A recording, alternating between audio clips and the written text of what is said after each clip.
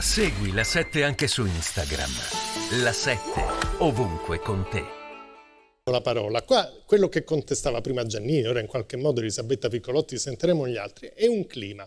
È un clima in cui se non ti adatti a quello che va detto, arriva pesa una censura, pesa se non il timore di una punizione, pesa il timore di un comportamento scorretto. Mazza, Anna Falcone. Io dico che da due anni, questa è la seconda edizione, eh, Sanremo serve anche a sfornare leader per certa sinistra, diciamo così. Lo scorso anno c'erano Chiara Ferragni e Fedez, quest'anno Gali ha preso il loro posto. Ci si riconoscono in quell'affermazione fatta senza, senza una parola per quella strage del 7 ottobre la povera Mara Venier, che, che, che abbraccio a distanza, ha soltanto mostrato la sensibilità di gran parte dei telespettatori per quella omissione che c'era stata, non citando il 7 ottobre. Ed è un problema gravissimo. E D'Argent amico?